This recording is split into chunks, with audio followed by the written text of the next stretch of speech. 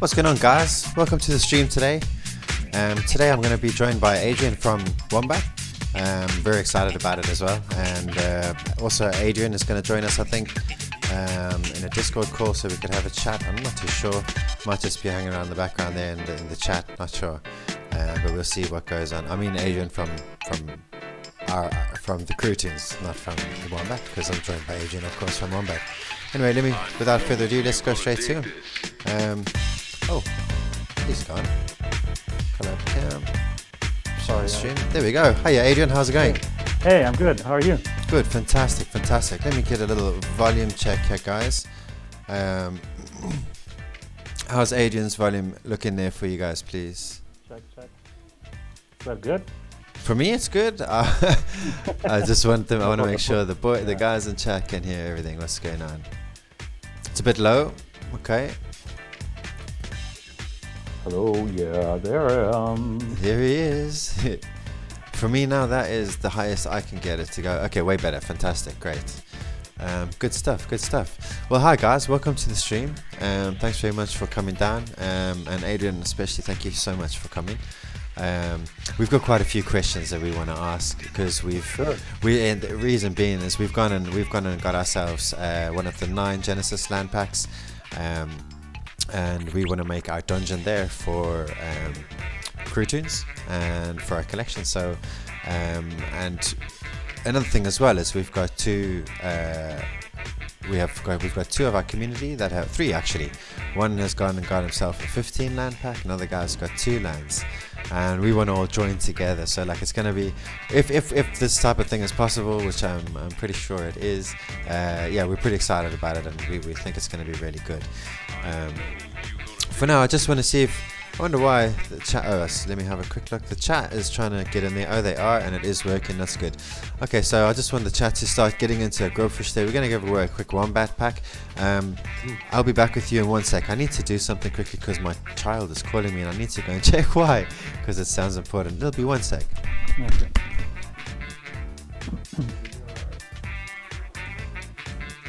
Cool. So we're gonna be playing Grubfish. That's awesome. Um, always a lot of fun. And there we go. Um, yeah, half the music. Okay, cool. Bring down the music a bit more. It's nice to get it all fixed up in the start, you know? Okay. Um, so yeah, bro, we, we've it was something that we were discussing for quite some time actually to get these um, to get the land ourselves, and um, it was it was pretty. Oh, how can I get him in?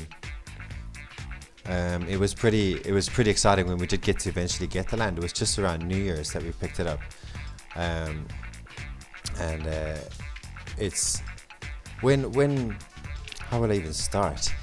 Could you tell us your basis of, of like how how you see these these dungeons working for for for the company itself, your company itself?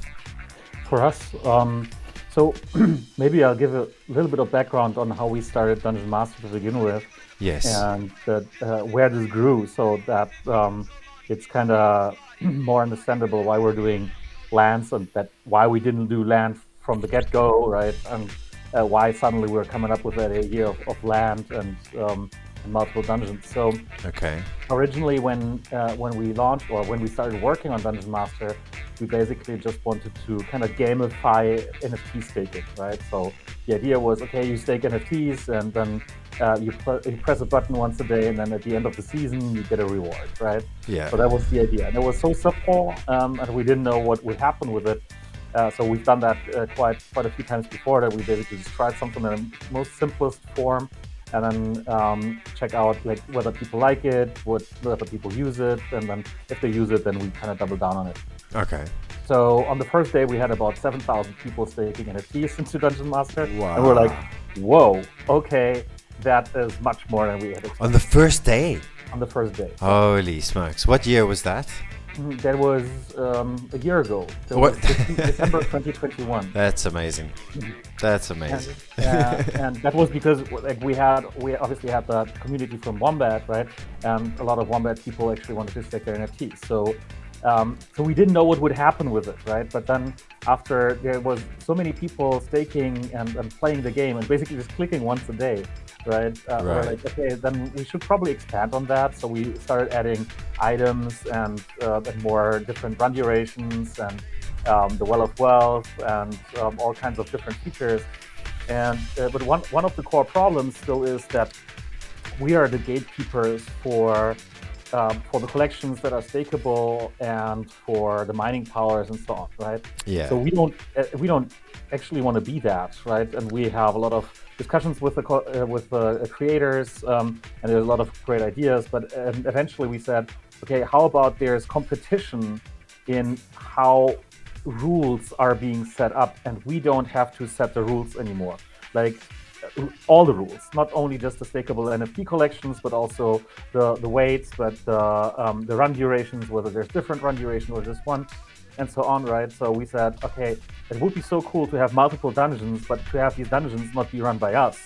Um, and we just run our own one dungeon, and everybody else can just run their own dungeon and make the rules as they want to, uh, them to be, right? And Right, right. It would be competition between those dungeons because players wouldn't want to play kind of all dungeons, but um, just a few, right? And then at, at, if everyone would basically choose the dungeon uh, that fits their own strategy the best yes. right? And or who, of whom you or where you would have uh, collections that you would want to stake, right?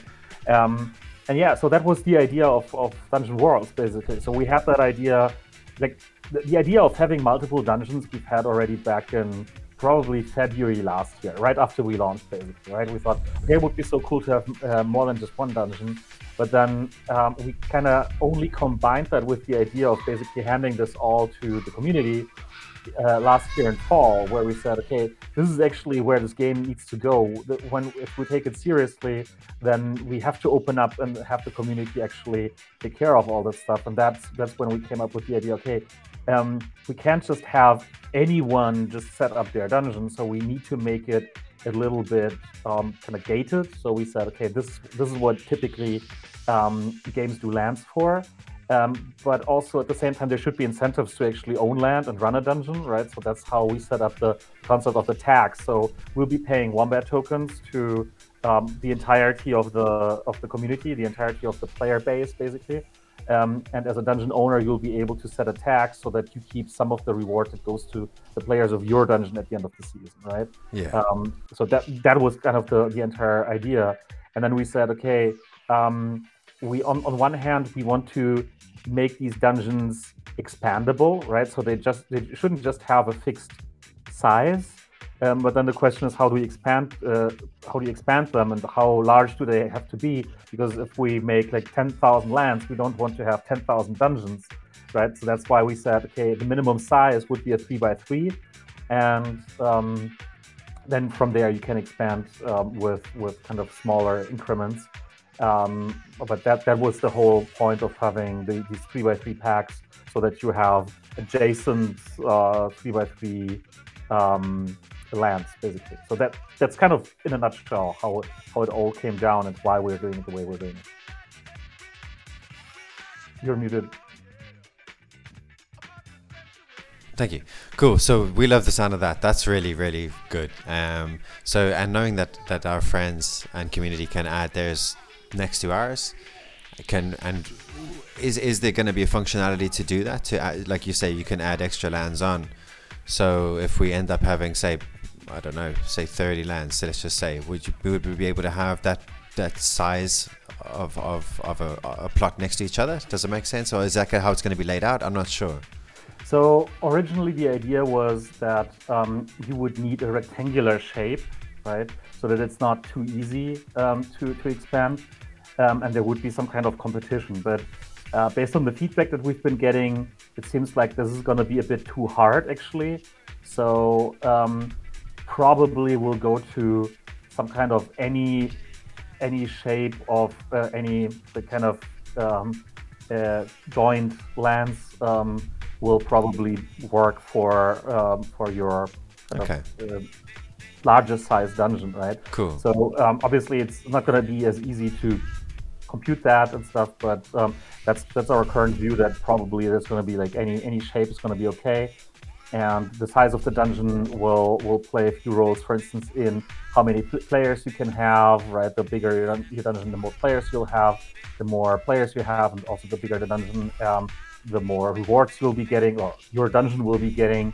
Right, and also the more lands you have, the more material will be mined by playing in your dungeon. So that there's a, a bunch of advantages that you would want to leverage with your dungeons.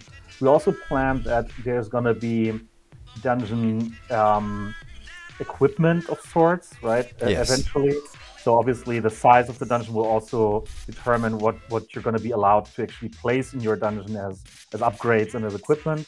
Um, but uh, yeah, that's that's not going to be there at launch. Okay. Okay. Well, look, we we we're looking forward to getting it. What what kind of what's your ETA? Do you reckon for launch? So our ETA is actually summer. So originally. Wow originally we are saying like Q2. Um, now because we're now kind of actively developing uh, the first parts um, that, we that we want to launch separately, right? So we always said that we want to have mining for individual lands. Yeah. Um, but we're also going to be launching training and breeding before the actual game uh, goes live. So that will actually like slightly defer the, the launch of the, of the kind of main game um, but we're still we're still hopeful for summer this year. Cool. That'll be great. Look, we didn't expect it that that early. Um, and hey, the earlier the better. But as long as you're ready, you know what I mean. Once you guys are ready, don't. I'm sure you guys are big enough to not be pushed around by by anybody saying, "Oh, hurry up," you know what I mean. Um, yeah, I mean everybody always says hurry up. Exactly, right? exactly. Um, so you just you got to deliver when you deliver when you're ready to put it out. Yeah, and uh, for us, it's really now that that we've started working like actual uh, software development work on um, on let's say mining. Right, there's so many things you can do with these mining and, and training and uh, breeding components alone that we thought, okay, let's see how this goes. As soon as these are out, maybe people will actually demand more features for those, and then we'll we'll have to like make decisions whether or not to delay the the main game, but to keep developing more on the ideas that people have for for let's say breeding, right? Because yeah. breeding is going to be super simple as, as everything yeah. in the very beginning, but then there's like we already have a backlog that would last for like a year or so if we were only to build on training and breeding, for instance. Gotcha. So there's there's all, all, kinds of really interesting ideas. So yeah, I don't know. Um, we really want to to have this game out, but then again, yeah, now talking to more creators and talking to more people who actually own land, there's again so many ideas of what else we could do and how we could enable creators better and yeah. give them give them more tooling so obviously that all, all that always produces the risk of yeah needing more time. Yeah. Uh, but then again, it's all it's always going to be a much better experience. So yeah, we're really looking forward to that as well. Cool, man. Um, and it, would will people be able to mine on multiple dungeons at the same time? Um, as a use as a player, yeah. um, you'll be able to play multiple dungeons. Yes. Yeah. You'll you need multiple characters. So you basically how it's going to work is that the dungeons will have to be registered kind of so it's not enough to just have land right? You'll have to set up a dungeon. Oh yeah. You, you kind of have to register it right? Set yeah. up your rules and so on. And you will always kind of guarantee that you keep this dungeon in this size for the rest of the season or for the entirety of the season because otherwise it wouldn't make sense if you could just basically just change would, it yeah yeah you, you, lure people in and then suddenly yeah. you would basically reduce your size to zero or whatever that, that would be awkward so you will not be able to unstake your land mm-hmm. until the season ends mm-hmm. right and then um, so the, the dungeon will live for the entirety of the season and likewise, if you want to play a dungeon as a player, you will have to assign your your wombat character to this dungeon for the entirety of the season, right? So you'll not be able to get it out before the season ends. Okay. Um, but you will need, need those wombat characters, right? So um, we actually just announced that the character drop will go. Like the first character drop will have it on the sixth of March, so a week and a half from now. Okay. Um, and um, yeah, we're look, very looking forward to the feedback that people will have on the the characters because you like the lands are optional for players, right? Nobody really needs land. The land is for dungeon owners, yeah. right? Yeah. Um, but characters everyone will need who wants to play in dungeon dungeon world. Yeah. Right. So I'm really curious how how that's gonna go. And out of interest, like, so can can we make our own characters?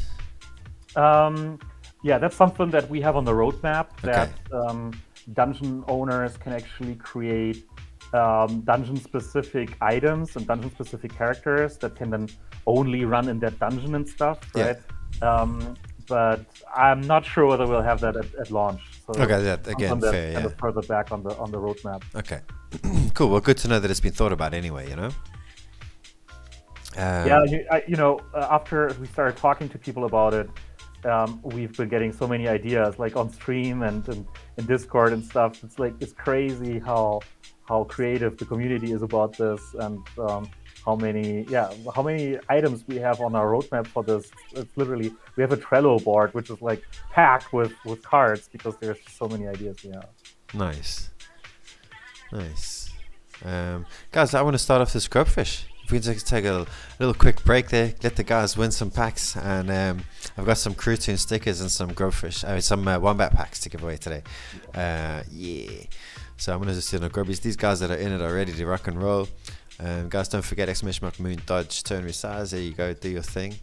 Um, I don't. I'm not allowed to talk about who's what's happening on that that grubfish because I tend to get people killed then, um, and the little grubbies explode.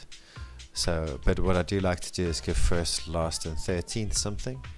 So 13th will get a Wombat pack, and first and last will get each a CrewToon sticker today.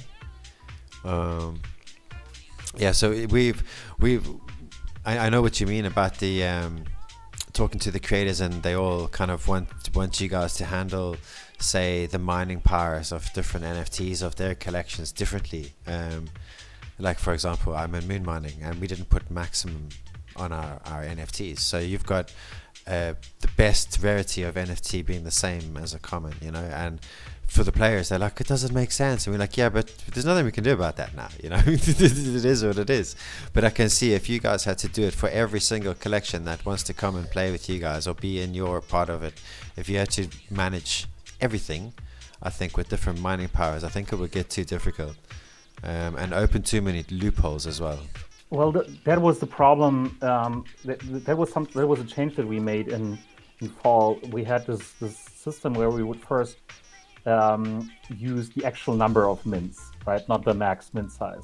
Okay. Uh, but that got uh, exploited by a bunch of creators, um, of malicious actors, wow. Um, sometimes um, on purpose, sometimes accidentally, right? Yeah. Um, and um, then we basically moved away from the system. So any new collection will be treated with this new system where we actually use the max mint.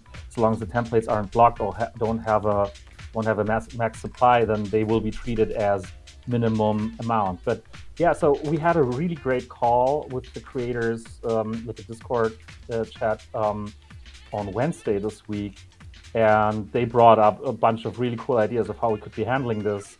Um, it's going to involve a lot of software development for us. So it's not like I'm not, I'm always not a huge fan of taking up um, massive extra efforts for us, but this sounds like um, that's really going to make a difference for creators because I didn't know how much of an impact we actually have on some of the creators. I yeah, like, you do, you um, do. You've got you've got a lot of um, it's you you give a lot of utility to a lot of NFTs that are out there that haven't that that aren't being used. You give a lot of utility. That, that's just one thing. that was that was the idea, right? That's, yeah. that's exactly what we wanted. We wanted to give because like there's so many people who have so many NFTs, mm-hmm. and there's going to be even more people with even more NFTs, right? On Wax only, there's almost 400 million NFTs minted. What do people do with all these NFTs, right? Yeah. Um, and so we said, okay, why not why not give them utility, no matter whether we produce them or anyone else produced them, right? Yeah. But yeah, that got us into that situation where now we have to decide that oh, this NFT is supposed to have 500 mining power, and this only five. And yeah I mean, I don't want to be the person making these decisions. yeah, yeah, I hear you. Crazy girl. Yes, I, I totally hear you, and um, it must be difficult to be put in that position. I was one of the guys that went into that group going, guys, come on, like you, this doesn't make sense. How could my, my one NFT that's of helium rarity, legendary rarity, be the same as a common? And they ju- I was told like look this is the reason. Put a max on your on your template if you want to want it to, to, to be taken like that. And uh, yeah so we're not gonna we're not gonna do that. Well um, like I said uh, with the with the suggestions there's like we don't have a concept. It's like very early. But um, the idea that was floating around is that the creators would actually be allowed to set their own mining powers for their own um, for their own templates based upon certain rules, right? So maybe creators that actually get listed would get, let's say, a, a, thousand points, which they could assign to their NFTs, and they could exclude certain templates so that they don't become stakeable at all, right? And um, you could decide yourself which ones you want to have higher mining powers, essentially, right? And then um, the overall collection weight could be something that, that gets voted upon or something like that, right? Um, so there's a, a, bunch of really great ideas so that we don't have to make these decisions at all. We don't have to watch or, or, or um, yeah, somehow crawl the, the number of uh, mints for each for each template. We have about 40,000 templates that are stakeable in Dungeon Master, right? That's not manageable for us in yeah. any in any no. like meaningful way, right? And like I said, I also we also don't want to be making these decisions. I don't want to like just because like I I have no representative data, right? People tell me, okay, so this is um, this is bad, right? This, this, NFT has or this template has way too high mining power. So we so then sometimes we change it, right? And then there's 20 other people coming in saying, hey, why did you nerf that? And why did you nerf it so much? Because we just bought a hundred of these just because it has high mining power, and now now we basically have yeah, zero. Yeah, yeah, yeah. So it's so, putting you in a situation that you don't want to be in. No, not at all. Because I mean, of course. I, I, have I don't have most of these NFTs, right? Yeah. I have no vested interest in, in any of those. Some I like, some I don't, but that's that shouldn't be me or anyone in the team um, making decisions like that, or this should have 200 mining power because we like it. Right? Yeah. That's not how it should work. Yeah. It should it should be based on kind of what the community wants, what like whoever, whichever creator has uh, has a large following, has a lot of fans, and also whatever meaning these NFTs have in in the context of this collection. Right? Yeah, yeah. And that's what what we cannot be, be deciding. We have 160 or so collections stakeable right? We cannot be looking at each collection and saying, "Oh yeah, we think that this item is uh, has this meaning in this collection," right? It, yeah, yeah, yeah. It just doesn't work like that. Oh, I totally but, get it. yeah, so giving giving more power to the community is definitely like in, in all dimensions will will help us a big deal because yeah, th these discussions are really uh, are really painful for us because um, yeah, we can't we can't help it really. Yep, it's totally, man. Uh, I, I, I, if I was in your shoes, I'd be doing it the same way, and I would have re- the the dungeons is the exact correct answer. It's it's hundred percent what what you needed in order to solve this issue. Um, so I've got a question from Manolo. I, I would have liked to. He was supposed to be with us in a chat, but we would have had to both join a Discord chat as well as this chat, and it would have been too confusing. But um, so big question: How many different tokens can we add to our custom prize pool each season in our dungeon? So originally we were thinking one at, at start, mm -hmm. right? Um, that this would be enough. Um, but from a technical perspective, that's not going to make a big difference. Um, so I guess we will have to limit it somehow for technical and RAM reasons and stuff. But um, I guess we could also make that dependent on the on the size of the dungeon, right? So that larger dungeons actually get to um, hand out more different tokens um, or something like that. So that yeah, uh, kind of like we don't we don't, we don't like have yeah, sorry. So I was gonna say like the more you have, the better you can get. Like yeah, yeah, just makes sense. Um, okay, that's man, that's really cool. We're we we like I can't say it enough how like we can't wait for this to start. Um, because like as you say, uh, CrewToons, we were fortunate enough to have someone in our community that uh, reached out to um, to, to, somebody who was higher up than him in Wombat. Um, not not in the team or anything, just in the staking and um, this guy had VIP level. I can't remember. Says I don't know the high like seven I think or eight. Is it level seven? What's the highest? Yeah, yeah. Uh, he had level seven, and he put moon mining and CrewToons in. Um, and because he did that, that's how and why this is happening right now. Um, it, it, showed us the potential of, of what could what we could actually do. And then when when actually when when the announcement of, of the land sales came along and then the land sales started to come along, uh, the the gent in the chat, A3 Manolo, who's my partner in the lottery, he uh, and sorry in CrewToons, he um, he said to me, um, "We have to get one. We have to, and you can understand why." And I, I didn't know. I don't know too much about Wombat. I don't. he's he whereas Wombat actually is one of the first projects I think that he knew about on Wax. If I remember correctly, that's what he told me. It was one of the first. It was the first project actually that he knew about on Wax, uh, and it was because it was listed elsewhere. If I'm not mistaken, that's I think that's his history behind of how we how Cool. he got into got to Wombat. So. Um, yeah, so he's been really excited about it and pushed me and pushed me and pushed me and got me. Now I understand, and now I'm really excited about it. I thought it was just another land for another game, you know, um, but it's not. It's not like that. It's it's what every land should be. We're gonna put it that way. Um, Well, that that's what we're trying, right? We didn't like um, we didn't want to come up with land and then find find a reason why people should have it, uh, right? Yeah. And there should also be multiple different ways of how you can use it. So uh, we also want to um, eventually get a bigger kind of economy around those. Right, mining will be the first thing, but um, people were already saying, okay, how about I can build some kind of a shop that then can basically be pr- presented in or will be presented in the neighboring dungeons, right? Where, where just automatically, just because I'm, I'm I'm adjacent, will be presented there, right? And these kinds of things. Uh, so there's a lot of really really cool ideas. Okay. Um, we're also thinking, uh, maybe you know, we have these uh, friendship uh, seedling non-transferable NFTs that you can get by referring other people from via Wombat. Um, not many people have them, but we're thinking like, how cool would it be if you could plant these seedlings um, on your land, right, and grow trees, and then those trees would start producing oxygen and these kinds of things, right? So there's there's like a lot of ideas that we have with, with the Cool. land and so on. But the, the core of it was really, and that's also why we didn't advertise. We didn't want to advertise the lands as okay, every player should be having those, or you will need those, or whatever. But these are really for the creators, for the people who want to run a dungeon, and it's it's uh, it's asymmetric on on purpose, basically, right? Okay, because Um, when I when I spoke to Alex originally, um, I said to him, I said exactly that. I said I, I don't understand why creators don't all buy this land. I don't understand. It's what it is. It's basically for creators. Now that it's coming out of your mouth, it makes hundred percent sense of why it's for the creators. Yeah, exactly. And and like we get we got the question so much. Um, do, will I- will I need land in order to play Dungeon Dungeon Worlds? And I'm like, no. That's that's exactly what it's.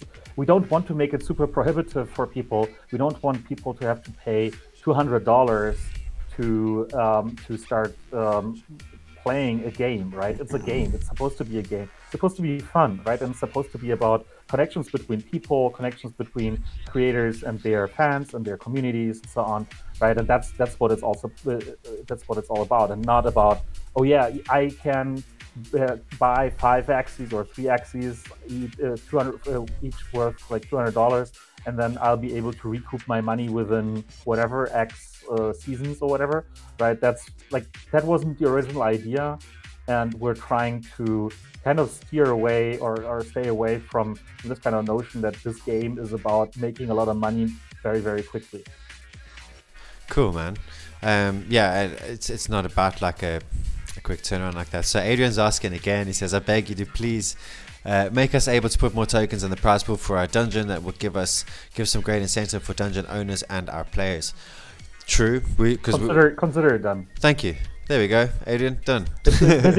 um, that's the first time we get asked about it, right? But from a technical perspective, we have no reason to kind of restrict that. It's just maybe kind of, let's say, RAM reasons or whatever. So we might restrict it to a, a certain number, but not not arbitrarily many, but not like we don't have a reason to have it one or two or zero or whatever. So that's why we will to- totally do something. Cool, Like that. because it, that had come into our plans with our, our CrewToons token that we will launch. So that will be ideal, a good way to distribute it for people playing the dungeons, you know. Um, Yeah, y- yeah, totally. yeah. So that's one of them. Want to show a sneak peek of our tokenomics, agent? sure. Send it to me, Alex. Send it to me, Adrian. Um, not you, the other Adrian. Um, just one sec.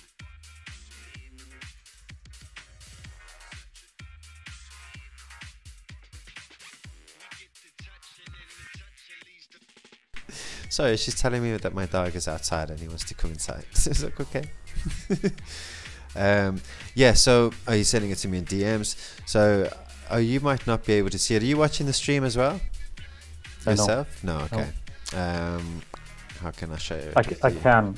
Um, tell me which which channel? I... The underscore Agent K. Um, okay, and then also another one here about the land merging for a dungeon. Uh, do the lands of our community need to be connected to ours? Uh, yeah, they do. They do. Uh, they need to be connected, Adrian, and he was saying that it could be out of a different shape as well. They'd originally thought it must be rectangle, but they've changed the shape to make it just once it's linked, it's linked. Once it's touching sides, uh, which is pretty cool. Nice. Um, okay, so let me bring up that uh, small little sneaky peek.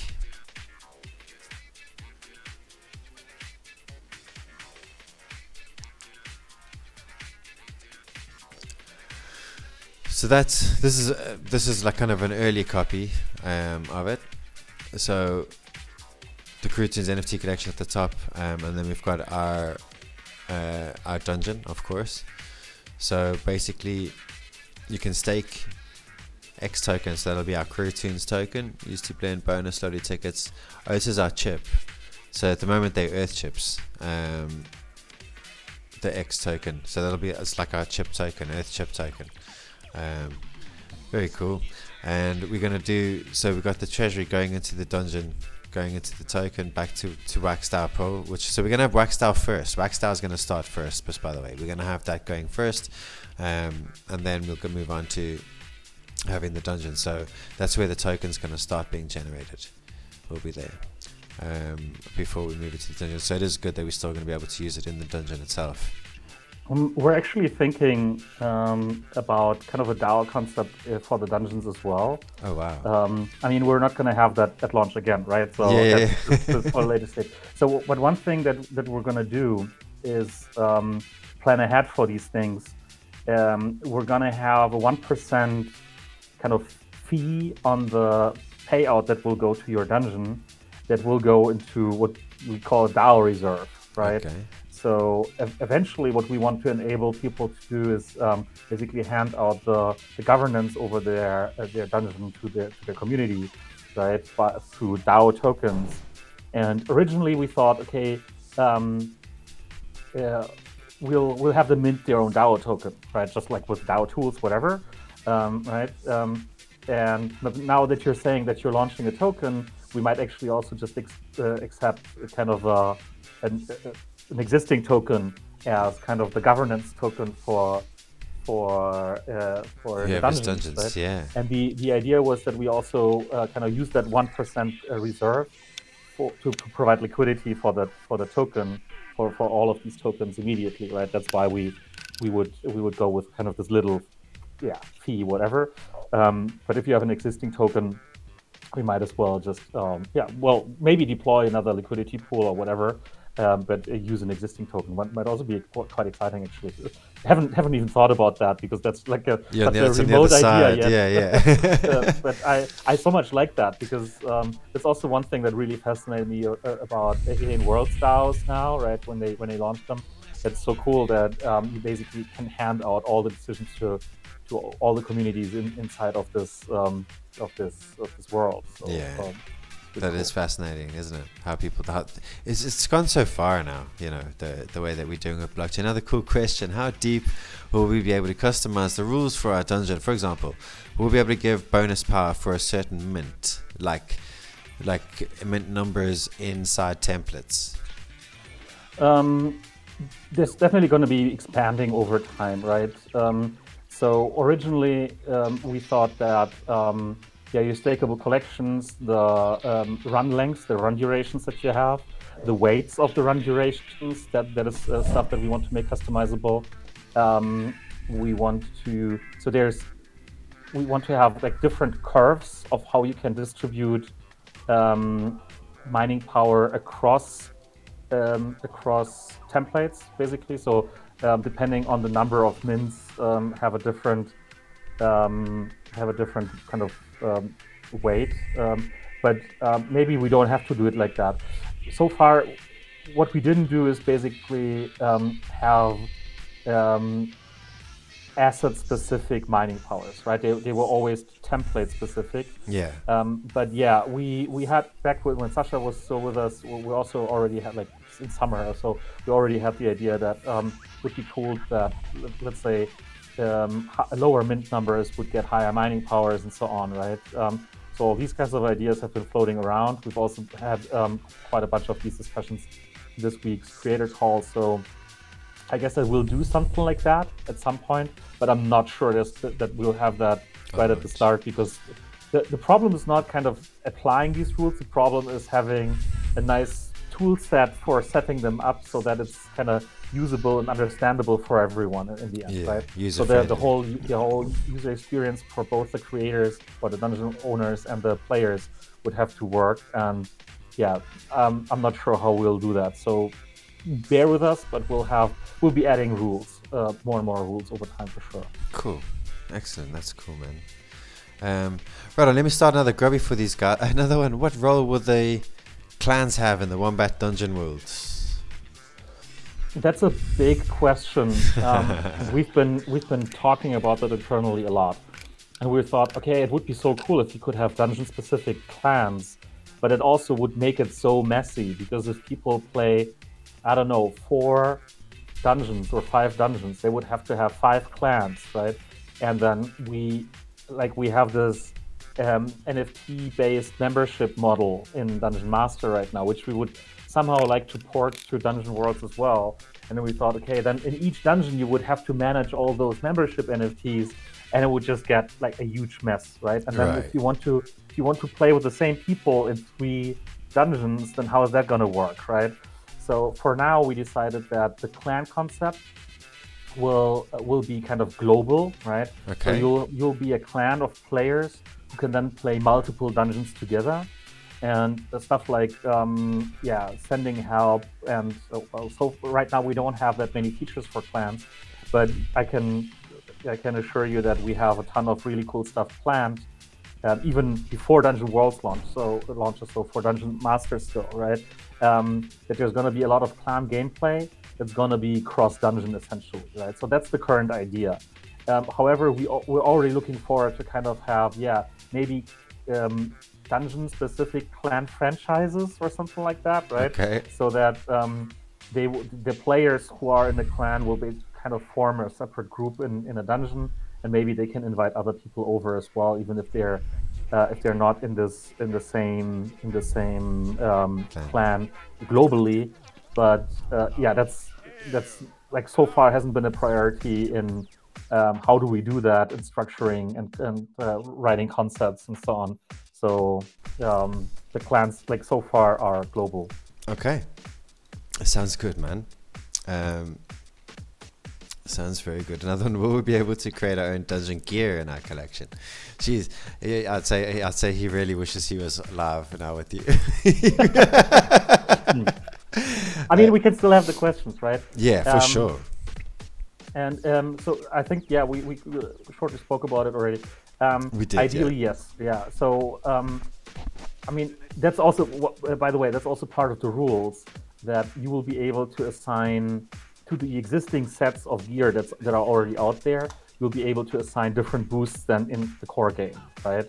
Um, so any dungeon or every dungeon might have different use for the, for the gears. And if you do that, then obviously it would be great if you could have your own gear and if you could basically just set it up and say, okay, this is how I want to distribute it. I want to have packs. I want to distribute these packs within my dungeon, and so on and so on. Right. Yeah. So that's that's all kind of we the the base principle of what how the dungeons are going to work will totally allow for this uh, right? You will also be able to hand out your own NFT packs randomly based upon certain um, uh, probability distributions within your dungeon, right? Fantastic. Um, just like what we do yeah. in, in the treasure chest right now in Dungeon Master, where everybody is complaining that they don't know how that's being computed and stuff, right? Um, but uh, yeah, so these these concepts are going to be there, right? You you'll have an NFT pool that you can fill up, you can fill it up anytime, and then um, your users will you will be able to set up a um, the probability for each user or for like certain tiers of contribution or whatever.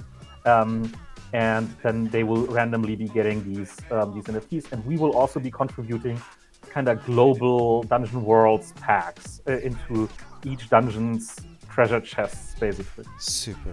Right. Um, but that means that you can also set up like eventually you will also be set up your own uh, dungeon-based packs where you can distribute your own gear and um, that like if you want to sell them we can totally do that let's say on the ref, ref share right?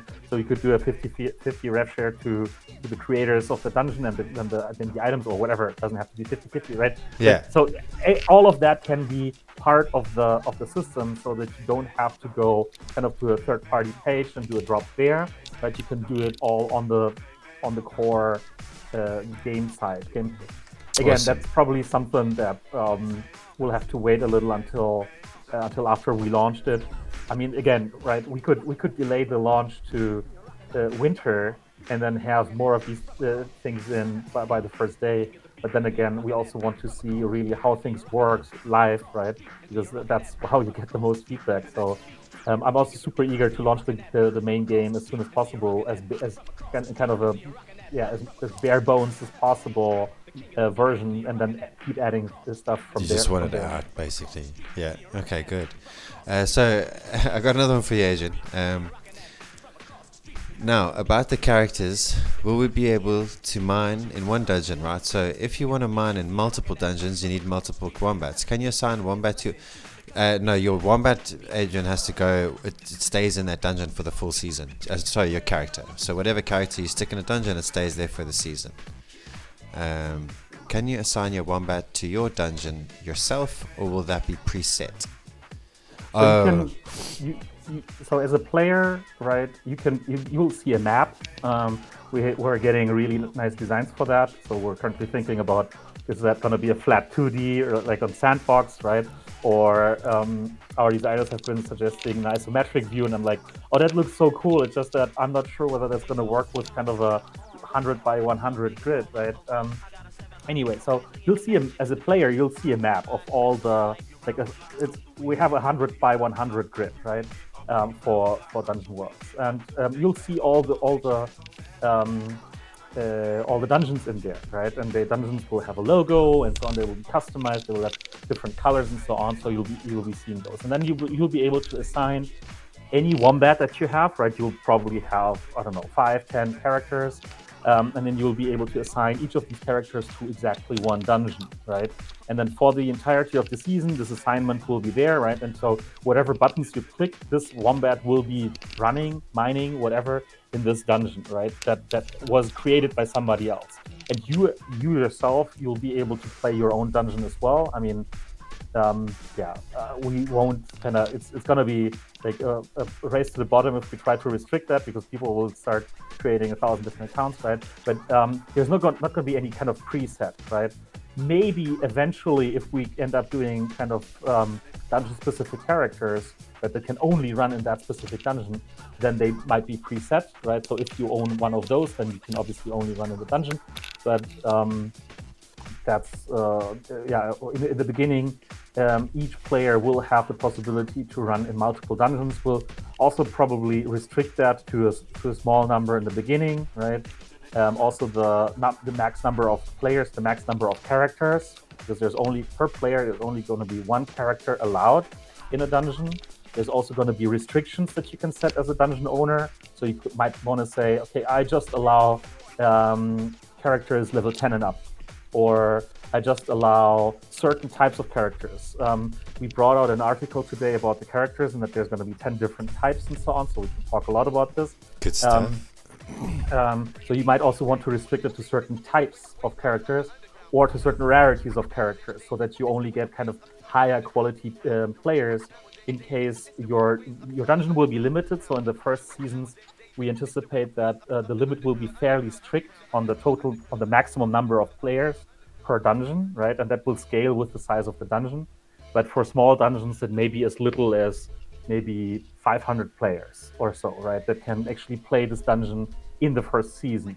Um, and maybe uh, then over time that will increase, right? Um, because we, we really first have to see how that all works, right? So we really will limit the total number of uh, dungeons per player, the total number of players per dungeon, and all these things will that that will be limited originally because we really don't know where this is going to go if we if we open up entirely. We've seen crazy stuff happening, uh, right? And we really want to have this. We, re, we will have to find out what the competition between the dungeons looks like, and we want to set the incentives right and so on. So I I, I really anticipate that we will have to limit it to, to a certain to a certain extent in the beginning.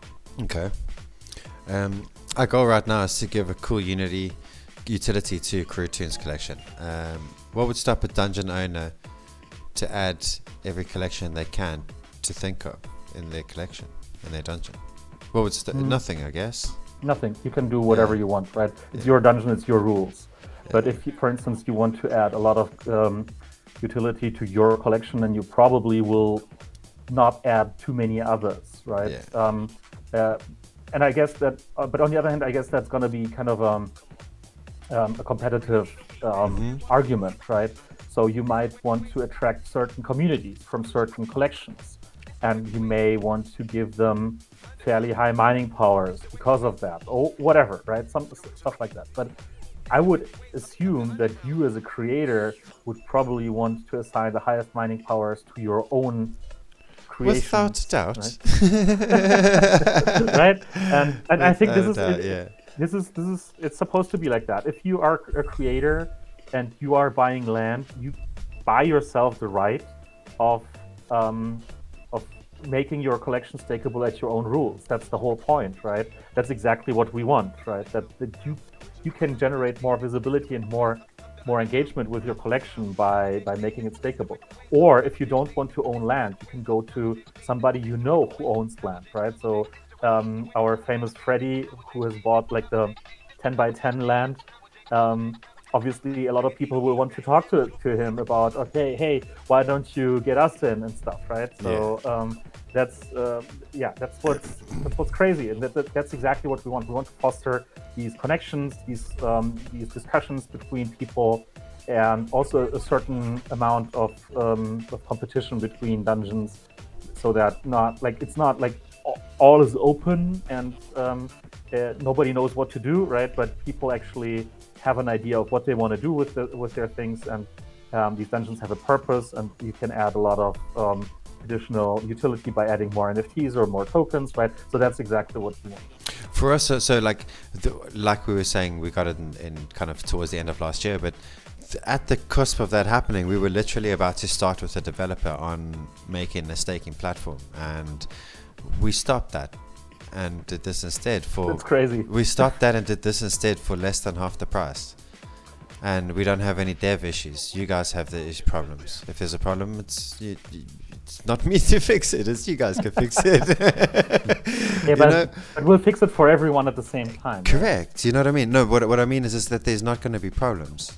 I, I won't have like you know how how like as a creator, you have developers that potentially aren't on your team that you pay that come and go, and they don't do things on time, and something some things don't work, and then you have to get them, and then they come back to you two three days later.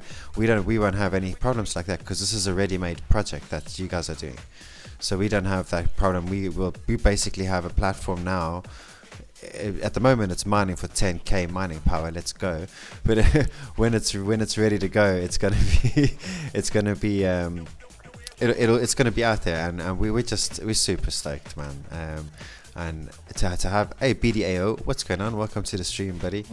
Um, yeah, we're we're we're really looking forward to it. Um, and we didn't have to get the staking platform that we were going to get, which like the idea that we had was amazing. We, we we probably will still do that in the future, but for now, this is absolutely perfect. Absolutely perfect for our for our project. Um, yeah. So yeah, if there's there's any ideas that you that you will want to contribute uh, to Dungeon Worlds and how we can how we can improve on that, um, that we'll we'll have all, all, those right. That's why we're in so many discussions. That why that's why we're live uh, yeah. on Twitch, on um, Discord, multiple times a week, yeah. and talk to people about it um, because that's that's how actually that's how a lot of um, Dungeon Master actually uh, was created, right? From uh, community feedback. It was ideas that we had that we discussed with the community, and then we were growing from there. And this is really what what has made it so so successful so far, and this is what we really want to keep. So um, I'm really excited about it as well, and I really love talking to you guys, uh, like whoever has bought land and has an idea of how they want to use it, and and basically, yeah, like really building um, token economies with that in mind, right? And, and how you will be able to utilize that. And we want to give you the tools to to utilize it as best possible. Cool. And we yeah. Um, like I say, and we've said many times, we're super stoked to utilize. We can't wait to utilize them. So, uh, you reckon quarter three probably then, late quarter three? You're hoping for quarter two, but more than likely quarter three, or yeah, yeah, that's kind of okay. Uh, I'm part part of moon mining as well, and for us, it's uh, we've got phase two coming as well, quarter three and four, and I'm guessing four. You know, I wouldn't. I don't hang on to the first the first one of those queues anymore. I always go for the second one now because uh, you know things things happen, man. um, but yeah, so guys in that grubby doing very well there. Um, I really want to say, uh, actually, all five of those people that are still alive are good guys in the community. That's good. Chop chop. There's only two left now. There you go, Trust Gas, GG's brother. Taking home a nice CrewToon sticker. And then, of course, number 13 is going to get themselves a wombat pack. And then I've got uh, Arik again, another winner. Another win for Arik. Arik is actually. Um, do you remember I said to you that there's two. There's two single lands and a 15 pack and a 9 pack. So Eric and his friend are the two single lands. Yeah, cool. Yeah.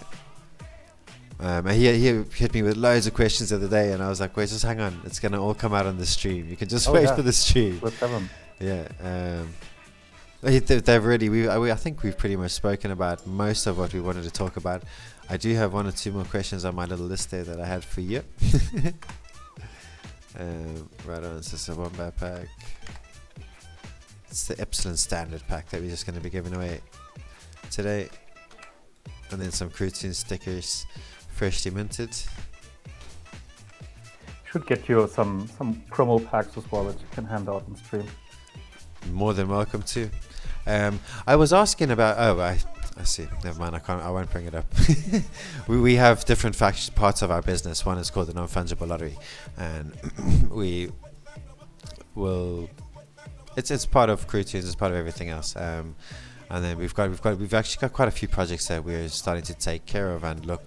Uh, without saying too much, that we're starting to do. um, myself and uh, Adrian. Um, yeah, and it's pretty good. So let's get this on.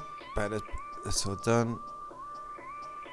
All right, guys, we're gonna do one more last fish. Guys, anybody in chat have any we need some promo pack agent. Caesar says, um, exclamation mark play with your wallets, guys. Uh, MIB asked a question above. Let's go find that.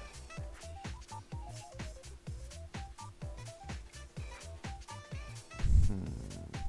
Hidden NFTs can just be used in one dungeon or in all where are allowed. Um, so the idea is that each dungeon will have its own kind of staking space, right? So if you have one NFT and um, this is a lot of mining power in one dungeon, but also a lot of mining power in the other dungeon, you'll have to make a choice. Right? Will only count for one dungeon, and you will have to explicitly stake it to that dungeon because um, otherwise we would give even more power to very powerful NFTs. Yeah. Right. And I don't think that this is what this is really what anyone would want. No. It's, um, in general, I think that staking is is great because it makes it shows exclusivity, right? If you stake it, if you stake something into one smart contract, then it means it can't be used anywhere else. You can't sell it, yeah. you can't stake it elsewhere, and this is also what we're going to be using for, let's say, um, single land mining and uh, training, for instance. You will have to stake your uh, character into training for duration of its training, right? So you can't be, you won't be able to use it to mine or to run in a dungeon or to breed. It's all going to be mutually exclusive. So either you do that or you do that. And we, the cool thing is that we can make sure that this happens by having them staked. Staked, stake, yeah. yeah. Having everyone stake them, right? So that's, I really like staking for that reason um, because it really shows that, yeah, you're, yeah. you're dedicating it to this very purpose exclusively. I also like the fact that people can't have their stuff for sale once it's staked You know, um, there's So a that's also that's also, for instance, one of one of the reasons or the reason why we have this one one day unstaking period in Dungeon Master is exactly that that we don't that we didn't want people to stake NFTs, start a run, and unstake and sell their NFTs or send them somewhere else and use those NFTs to start another run with with those NFTs on a different account and stuff, right? So that's why we have this, this, this unstaking period. But um, yeah, the cool thing about staking is also that it enables you, because they are already on the smart contract, enables you to do all kinds of cool things like renting. For instance, renting is easy to do when you have them staked in your smart contract and you can already use them, or technically at least it's easy to do. Renting is incredibly hard to do if you just want to do it on a primitive kind of NFT level, right? Um, where it's just like this is a super big problem that um, for the for the lack of, of a great solution, there is no big, cool, much used renting markets for NFTs yet, right? Okay. There isn't. There's no not for renting NFTs. There's there, there's only one thing I can think of now in, on on Wax, and there's there's Credit Metaverse, which is it gives you loan. You you can give them an NFT for for a Wax loan, and then pay back the Wax and give back your it's a NFT collateral. You know. Yeah, but then as you collateral. also have That's to it. stake the, stake the NFT. Oh yeah, you yeah yeah that goes yeah. And for and that, that, that's what we were thinking about. I always thought, okay, it would be so cool to have a to have renting. And we've, we've been asked about renting quite a bunch of uh, times, and I was like, yeah, there should be a renting platform on Wax. It's it's too bad that there is no NFT renting platform on Wax. But if you think about from a technic, think about it from a technical point of view, this is also really really hard to do because it's your NFT. So if you give it to somebody, they can run away with it. they yeah. Yeah. And what if they don't pay you back the loan, or don't pay the interest, or if they don't hand it back? What can you do, right? Yeah. So you would always have to work either with a collateral or something else, and that's not not great, right? Yeah. Um, so, but if, if you have an, a smart contract where th- those are staked already, right, and there are staked, let's say, in the dungeon items uh, smart contract, then we control them, so we can make sure that you can use them in the game for for the duration of your renting, like for within your renting period. But if you stop paying your rent, then it will automatically be taken away from your, let's say, it will be unequipped yeah. from your wombat, Yeah. right? And it will go back to the actual owner owner's account, right? Yeah. And then they can unstake it. You can't, and you as a renter, um, You just can't, rent it, You can't yeah. even unstake it, right? Yeah. So that's that's it's much easier to do if they're staked in your into your smart contract. Cool. I have a question here for you from Born to Be Shadow. Um, I, I know the answer, but I'm going to ask you because it's for you. If you have a new collection, what do you need to do to get staked in the dungeons? Yeah, that's a great that's a great one. So that's probably gonna change. But right now we have a form that you should fill in, and um, uh, yeah, if your if, if your submission like there's no, no big rules, but sometimes we get submissions where the um, collection name is missing, for instance. then we can't go and try and find the collection name based upon like certain Yeah. information that we have, right? Yeah. So um, try and assume one. So uh, there should be the collection name, a, a few information about your collection, but then we'll look it up, and then as as long as it's not like any kind of weird stuff, like bad stuff or whatever, and there's a little bit of creativity in there, and it's typically it's good when it's uh, whitelisted on Atomic or verified on um, on Nefty or, or whatever, right? One of these verification processes, and it has a bunch of templates and ideally um, a little bit of training volume, but that's not really necessary, right? And we'll basically just do a few of these basic checks, and then we'll we'll take it into our voting, Yeah. right? So we uh, typically have voting twice a season, where we'll have about five, six, seven collections in one vote, and the top voted collection will make it uh, into Dungeon Master and will become stakeable um, starting from the next season. Nice. So starting from the next season, season or mid-season update. Yeah, yeah, yeah. We had that. We we lost to um, Seabreak Gaming. I don't know, Consumer Break. Um, actually, one of my f- streaming friends. and when we, when we saw we were up against each other, we were like, I was like, oh, come on, how and why? um, but yeah, Yeah, so we've we've done it before that um, if the, if the vote was really close, then we would actually add both.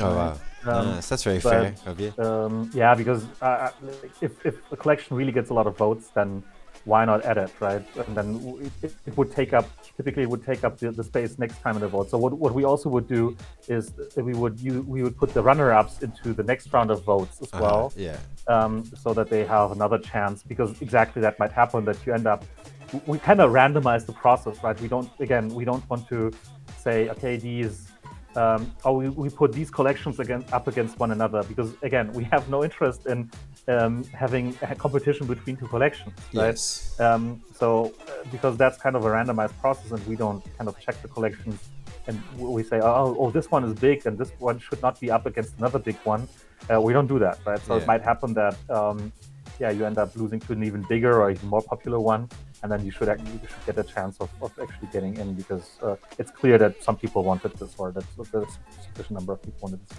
And I think for what was it, one of the collections actually make it made it in in the second vote, right? They they lost to one in the first vote, and then the season after they got they got in by a wide margin um, after we put them up for voting again.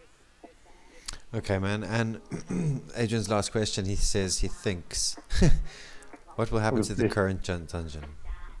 Yeah, so the original idea that I had with the current dungeon was that we make this kind of a special dungeon in Dungeon Worlds, that uh, there would be kind of the legacy dungeon. Um, okay. But the more we thought, we started thought, thinking about it, the more we thought that's such a horrible idea. That we'll have 300 dungeons that are kind of normal dungeons, and then we'll have this special dungeon that will have special handling, everywhere. So um, then we said, okay, maybe not, um, and we'll have to upgrade the white paper, update the white paper regarding that. Um, but the idea is that um, the current dungeon, that's Dungeon Master, will become a usual dungeon in Dungeon Worlds. So all like we'll be setting up our rules. We'll be having our prize pool. That's uh, the twenty-five thousand dollars that we have. We'll just have that in our own dungeon within Dungeon Worlds and yes, you'll also need characters to, to play there, um, but we'll basically just hand characters to um, to whoever wants to play that at these uh, at these common characters, and yeah, we'll just make up. Uh, we'll just be one of the dungeons in Dungeon Worlds.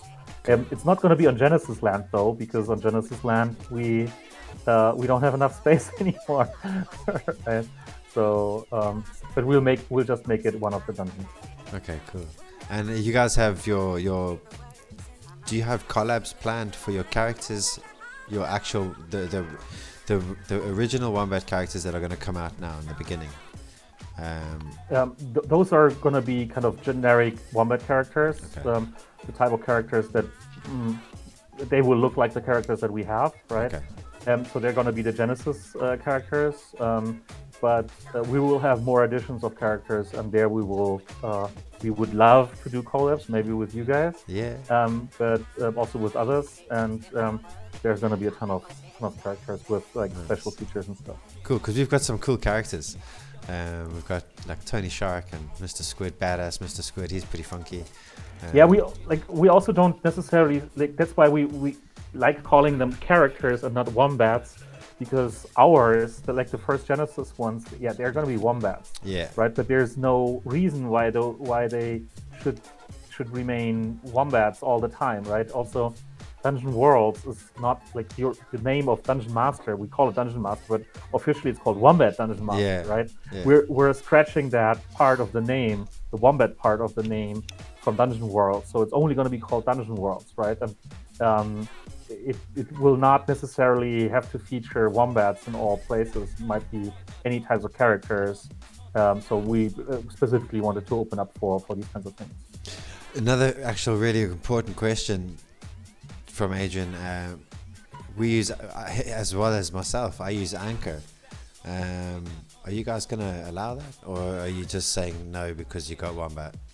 Mm, well, yeah, uh, we will for Dungeon Worlds we will allow uh, Anchor, I guess. Um, for Dungeon Master, I'm not sure, but maybe maybe also there. The biggest the biggest issue with um, with Anchor right now is that uh, Wombat is Anchor compatible as well, and um, it might get messy if you want to use Anchor and you have Wombat installed, right? And you want you want to play Dungeon Master, right? So that's kind of the main reason.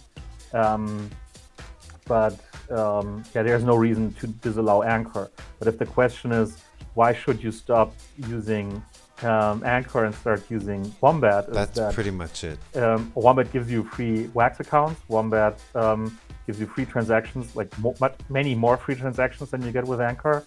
Um, if you're if you're a level two staker um, VIP um, or higher, then you, you, get 100 transactions for free every day um, on on Wombat.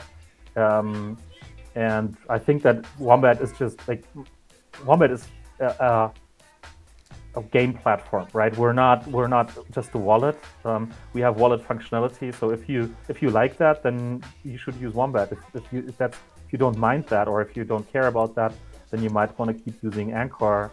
Um, and the, the, the, biggest issue that we don't have in, in Wombat right now that um, is kind of, I think, the main reason why people are using Anchor, at least the people that speak to me, um, is um, that we don't allow multiple accounts in Wombat, right? That was a er very early design decision that we made um, which now is biting us, and it's like super hard to change that. And I have that. I've had that on the roadmap for a long time to actually allow multiple accounts, multiple Wax, EOS, uh, Ethereum, whatever accounts um, inside the Wombat wallet. Um, but yeah, we'll have that. Um, hope this year, but um, it's that's a really tough thing because there are so many assumptions that we've made that we have just one account. So it's it's a bit crazy to, to, to change that, but this is something that we that we'll be working on. Okay.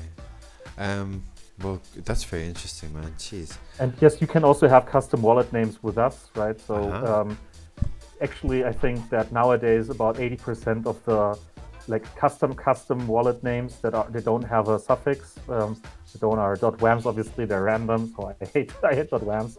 Um, but also the .gm ones that you get from Greymass or whatever, right? uh, with us, you, you basically have to choose your 12 characters. Mm. Um, we will have a suffix as well or an appendix as well, but um, it has not been a big priority for us. We have that on on on EOS, but not on Wax. Okay. What do you think it would be? On on EOS, we have FTW. FTW is, um, for the win. Nice. Yeah. Nice. Um, on on Wax, I'm not sure whether it's still available. To be honest. Okay. If anyone has the FTW, could buy it. right, guys, let's start that last grubby. I'm gonna give up one little grubby, and um, man, I tell you, it's been an absolute pleasure having you with me today. Um, yes, in here. Yeah, great, getting, great questions. It's, um, that's I, I, I enjoy this so much to be. Um, oh, Neon Space is FTW. Ah, this it. So I gotta, gotta talk to Neon Space. Um, oh, uh, Manolo is out of questions. That's great. um, yeah, really, uh, really looking forward, and really, uh, like let's uh, let's have more discussions of what we can do together, Fantastic. right, and how we can grow this together because um, we're really excited. We're still a lot of work ahead of us and a lot of decisions to be made. So um, the more ideas we get from from all of you, the more we can uh, move in that direction. Like the token thing, right? Um, we thought that probably one token would be enough, but if you require more, then let's have it. It would be ideal, especially like if, if you think about. So, for example, I'm going to give just give you like our, our predicament. CrewToons and the non fungible lottery. We have partners, and we have partners weekly, and we have like partners that are stronger partners. For example, uh, Tales of the Crypto and Moon Mining have been linked with the lottery from the start, so end of 2021. Um, and for example, those projects may want their token to be, be used as a reward, you know, and we want the capability to use that. But for sure, the CrewToon token, whatever we choose it to be, we definitely will be wanting that to be used as a reward system as well for for mining. Um, but yeah, so it is very cool. Slappy stick, slappy stink. I think that. Um, funny enough, we're talking about Tales of the Crypto. I think that they were looking for Slappy Stink um, the other day. I think. Um, Alright guys, so the winners of that, GG's. That's first 13th at Milu and last at potentially JT. I'll have a look now. I think it is JT because that goes up to 30, right? It is JT. GG's. And Milu. Nice guys, I will send... I've just done something wrong. Who came last? JT, right? Oh no. Sorry, I just messed it up after we did. yeah, there we go.